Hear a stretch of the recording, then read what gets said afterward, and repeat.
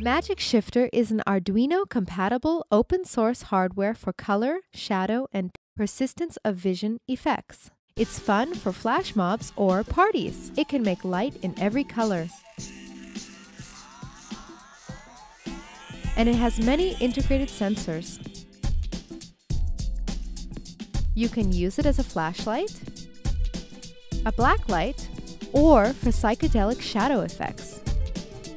It ships many different shadow modes, or you can program your own. The accelerometer can be used for games,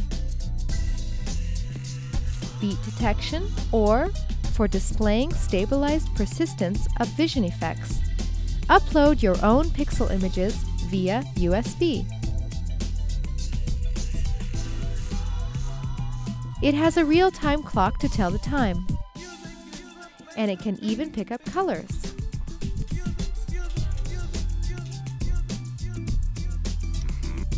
It includes a LiPo battery that can be charged via USB.